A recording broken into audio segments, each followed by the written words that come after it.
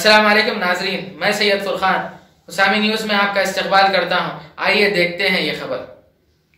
नमस्कार, आज Hyderabad city police east zone task force के तरफ़ से एक नोटोरियस डेकोइटी गैंग का अरेस्ट हुआ और इस अरेस्ट के साथ two lakh sixty thousand rupees का कैश का रिकवरी भी हुआ, जिस और two bikes knife screw driver और सेल फ़ोन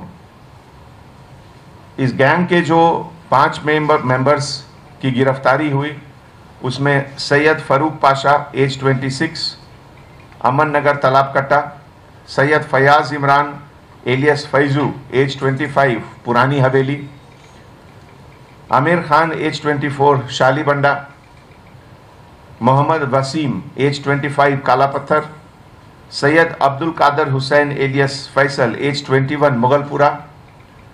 And Sameer, जो अभी नामपल्ली का रहने वाला है, वो अभी एब्सकॉन्डिंग है।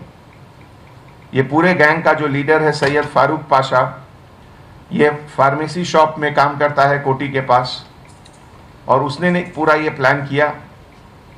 और सामने वाले के पास जो कैश रहता था डेली ट्रांजैक्शन का ये लोग सब मिलकर प्लान करे बैग स्नैचिंग का।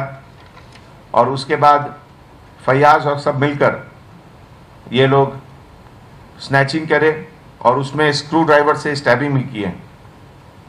ये पूरा अमृत बार पुतली बौली के पास हुआ।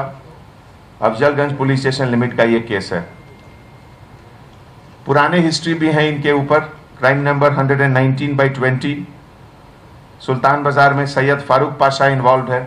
Crime number 35 by 12 attempt to murder case Mughalpura का सैयद फयाज इसमें इन्वॉल्व है क्राइम नंबर 182 बाई 19 शाली बंडा का केस है जिसमें आमिर खान इन्वॉल्व है crime number 316 by 2017 Madhapur police station का जो केस है ये पूरे ऑपरेशन में हमारे एडिशनल डीसीपी टास्क फोर्स भर्ती और उनके लीडरशिप में K Srinivas inspector of police east zone task force K Praveen Kumar detective inspector of police Afzalgunj SI Venkatesh Srinivas Reddy Govind Swamy और टास्क फोर्स के पूरे officers जिनको इतने अच्छे काम के लिए सिटी पुलिस के तरफ़ से बहुत बहुत मुबारकबाद।